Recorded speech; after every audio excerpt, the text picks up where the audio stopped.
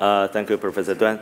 Uh, just uh, Professor Wang, Fusheng Wang, have uh, gave us a very nice speech focused on the uh, immunopathogenesis and uh, the, uh, the treatment strategies. So I just emphasize something on this topic.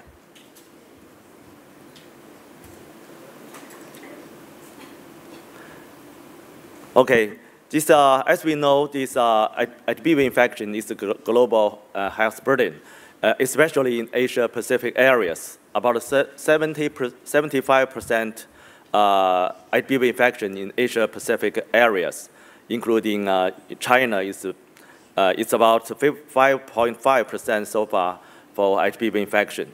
And uh, infection is an important reason for the SCC in Asia Pacific areas. In the SCC prevalence is uh, the 10 to 30 uh, fold risk in HBsAg positive patients. You can see that in China and uh, Asia Pacific areas is uh, the uh, big burden for SCC. So Professor Fusheng Wang have mentioned the, the uh, uh, hepatitis D is an immune-mediated disease, including disease progression and the injury liver, and also the immune control is the big issue for the, for the, uh, for, for the final control of the disease. So this is uh, the balance between the virus and the host immunity. In the, in the virus part, there's a, uh, the CD, the template for the replication virus, and the high viral load and the antigen, high levels antigen is, a, is another big issue for HBV infection. And also have the mutation for drug-resistant mutation, uh, pre-C and the BCP mutation to get, escape the immune uh, control. Also, the replication out of liver may be the one reason.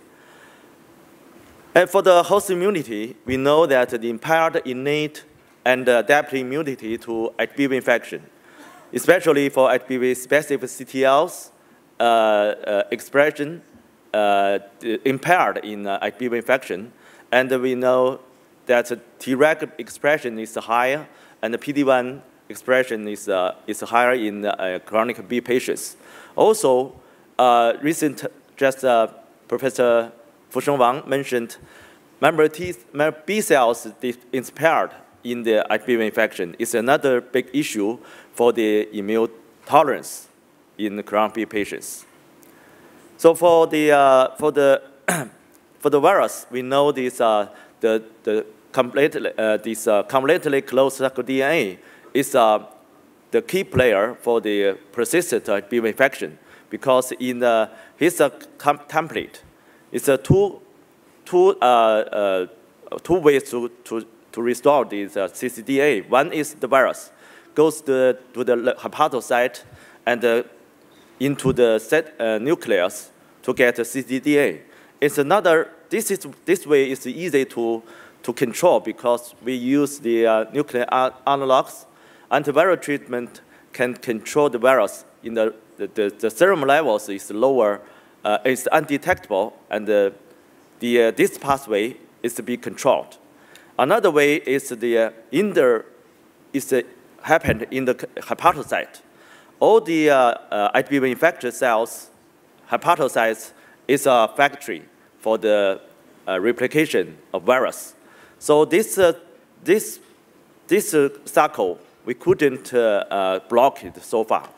All these drugs, including nuclear analogs and interferon, didn't touch this is a cycle in the uh, hepatocyte. So the CD template uh, uh, destroy depends two ways. One is the, uh, the hepatocyte died with the, with the, with the apoptosis. It's another way it's an important way for the immune-mediated uh, IBV-infected uh, hepatocyte apoptosis. So important, uh, so immuno, immuno uh, control is very important for the uh, cccDNA. So unfortunately, there's a, defi a deficiency of uh, host immunity in HBV infection patients. This is a very early study uh, showing that in acute uh, resolved HBV infection and chronic HBV infection is totally different with uh, CD4, CD8 uh, profile. You can see left, this is acute uh, resolved uh, uh, HBV infection. You can see CD, CD4 response is very strong. Also, there's a strong CD8 uh, CTL, uh, CTL response uh, in acute uh, HBV infection. Compared with acute infection, chronic HBV patients, you can see very weak CD4 and CD8 uh, response. This is a very important reason for the uh, uh, persistence of HBV infection in chronic B patients. And uh, this is another study from uh, it, uh, published in 2008. It's for acute resolved chronic B, HBV infection. You can see very strong, very strong CTL response and can control the virus to inhibit the, the uh, viral load dramatically decreased and keep in low levels. And for chronic HIV infection, the uh, uh, CD8 response is very low, both to uh, uh core antigen and polymerase uh, uh, CTL response is very lower, is undetectable. So this is another study supports this CTL response is very important for control HIV infection. So the defect immune response to, in uh, Crohn B, including insufficient innate response, defect CD8 response, and a recent study showing uh, that the defective B cell response is another big issue for the uh, so persistence of Crohn B. HBV uh, antigens and, and the virus can inhibit the uh, immune system. This is uh, the, the key reason for the immune uh, deficiency in Crohn B patients. So the In HBV uh, uh, infected patients, the antigen-presenting cells, including dendritic cells, B cells, and macrophage, is a impaired function. We know that the, for the uh, immune response, dendritic cells and antigen-presenting cells is a key uh, player for the uh, immune control.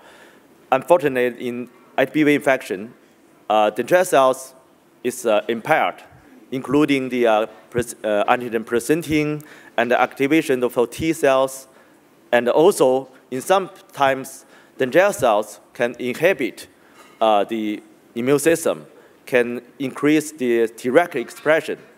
Uh, our early study showing that in HBV patients, the dendritic cells is uh, uh, decreased. It's, uh, uh, it, dendritic cells function is impaired in chronic patients.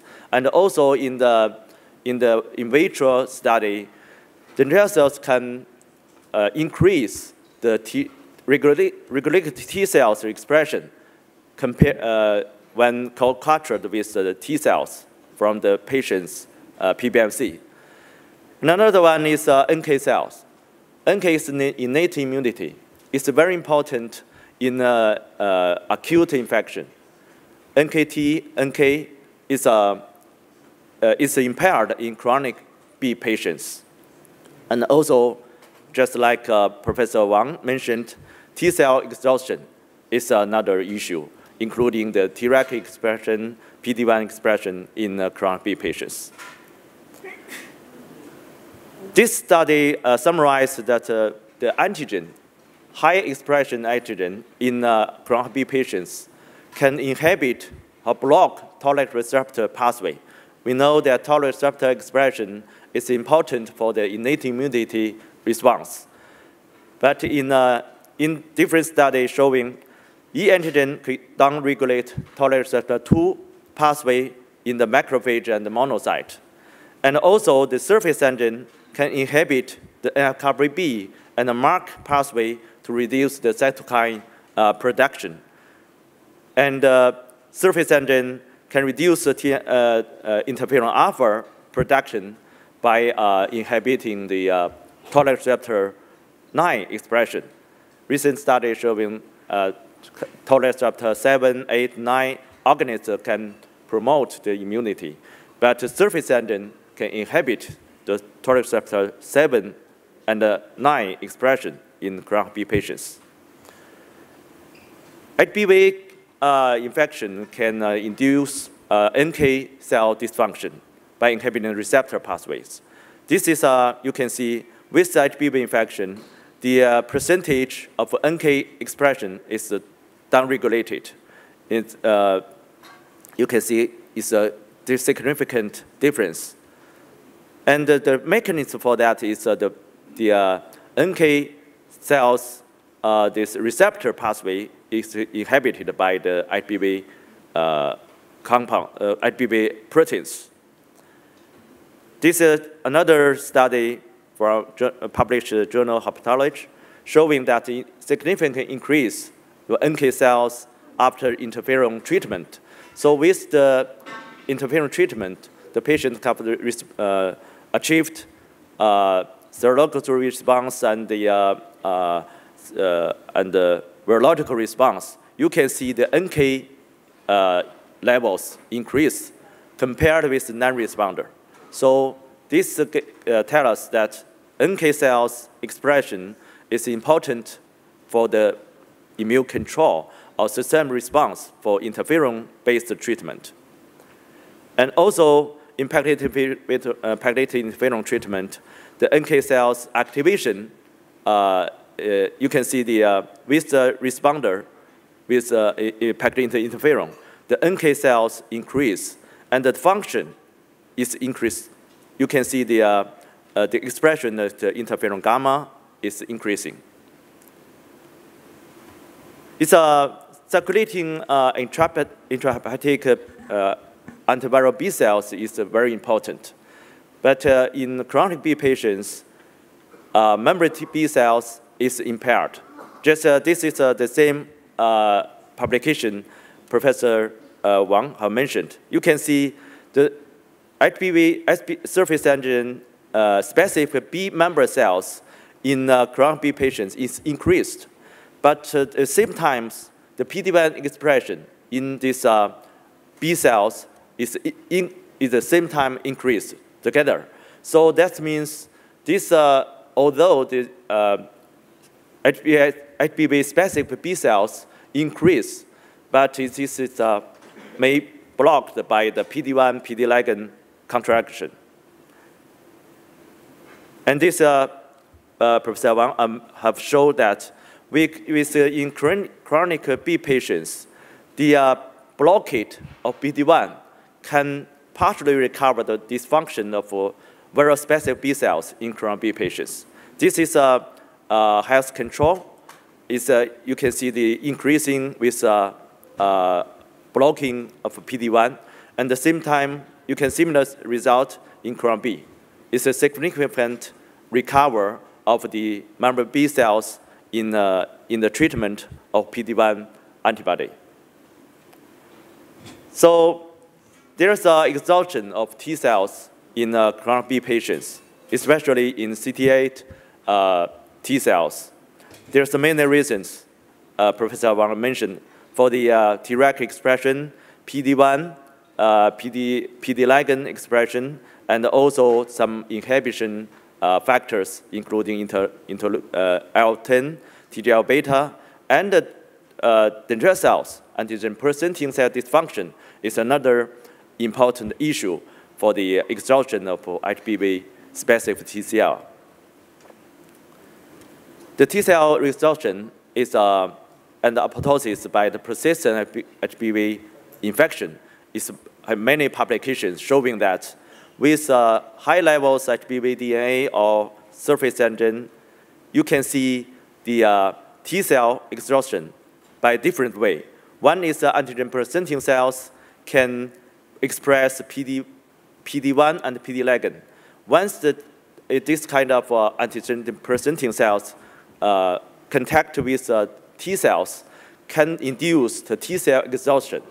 So antigen presenting cells theoretically uh, can induce immune response, but another way is can inhibit the CTL response. And also, the, the, the, the, T, the hepatocyte express PD ligand. We have did uh, this study uh, 10 years ago. In, uh, in the hepatocyte, you can see the PD, PD ligand 1 and PD ligand 2 expression. So that means hepatocyte can, re, can, can uh, induce the CTL uh, exhaustion in the, in the liver. So this, uh, the, the liver environment is not good for CTL response. Also, this, uh, the T cells, uh, exhaust T cells is uh, lost this uh, replication, uh, lost the function of uh, interferon gamma production, etc. So it's, it's kind of exhausted. So, but this kind of CTL is, can be recovered by blockade for the PD-1, uh, uh, PD-1, PD-1 ligand interaction. So this is a, a study uh, published uh, in uh, 2008. You can see in chronic B patients, the PD-1 expression is increased. And uh, PD ligand expression is also increased. So this is the, the basis for the T cell exhausted. And uh, this study showing that the blockade of PD-1 in combination with the IL-12 can enhance the very specific response and recover the TCL re uh, response. You can see here showing that uh, with the uh, blockade, the, uh, here you can see, with the blockade of the PD-1, PD ligand interaction, the interferon uh, uh, expression is increased significantly, both uh, CD8, CD4 uh, T cells. So this is a, a, similar result showing the blockade of PD ligand can enhance very specific T cell response. This is in liver, and in uh, uh, you can see the interferon gamma uh, expression is increased after the blockade of PD, PD ligand 1. And in the blood, it's similar. So this makes sense to, to use PD-1, PD ligand uh, blocker to enhance the very specific CTL response in chronic B patients. And uh, this is an early study showing that the new treatment, lamivudine-based treatment, can, can increase the re, uh, CTL response. This is a kind of balance. Uh, the, the high viral load and high uh, uh, antigen uh, antigen levels can inhibit the immune system. Once the viral load decreased, or, uh, our surface antigen levels decreased, the immune response can be uh, uh restored. This is, you can see the sustained response group. You can see the, uh, uh, with, with tetramer assay, the IgB specific CTLs increased. And also, this is uh, similar things with the sustained response uh, group. You can see the high levels IgB specific uh, CTL in the in the in in in uh, in the uh, in the patients. And this is a another study showing with the long-term long-term nuke treatment, the T cell response can restore it including the interferon gamma, IL-2, and the TNF production in uh, HPV-specific CD8, CD8, CD4 uh, uh, T cells in, in vitro. You can see with, uh, uh, with nuke treatment, you can see the increasing uh, interferon gamma expression in CTL, in CTL and the CD4 cells. So this gave us gave us a, a suggestion that the antiviral treatment is the basic for the immune control. This restores the function of a, a IgB-specific T cell after long-term nuke treatment. Uh, this is uh, interferon gamma, it's the IL-2 expression. This is uh, uh acute uh, hepatitis. This is a spontaneous uh, resolved, and this nuke treatment with surface antigen negative, you can see very high levels uh, T cell response. This is a similar with the new treatment with surface antigen uh, uh, negative patients. this uh, immune control patient, you can see very high levels uh, T cell response. And also, HBV specific T cells are required for immune control in uh, HBV uh, infectious patients. This is from Bortoletti's group in JCI, showing that in with uh, non-flare patients, you can see uh, uh, the co-specific T cell response in the, in, the, in the body, and the polymerase specific the same. So this is a high levels CTL response can keep the uh, sustained uh, antiviral treatment. So immunotherapy is uh, very important for, for the uh, chronic B patients because there's a serious uh, impairment of, uh, of the immune system in chronic B patients, including the exhausted T cells, PD-1 uh, expression, and the NK and the B cells uh, dysfunction. So the strategy for HBV clinical cure, including the targeting virus uh, for the uh, for the nuke, for the uh, uh, core inhibitor, etc. All these targeting the virus, and targeting immunity is a very important issue. this I may need so far. So, but many studies showing uh, gave us uh, some promising data. This is uh, the surface antigen inhibitor. It's published early, showing that the, the rapid downregulate of surface antigen. With the surface antigen decrease, you can see the ALT flare. This is, means the immune response in these part patients. So, so I'm uh, uh, interested in the surface antigen inhibitor may be one important uh, drug for the clinical B patients. And this is uh, published uh, this, uh, in this LD meeting showing uh, the interferon, interferon RNA and vaccination combination gave us very promising data. This is a, therapeutic vaccine. It's called surface antigen. And the, with adenovirus as a vector for the uh, interferon, interferon RNA and combined with the vaccine.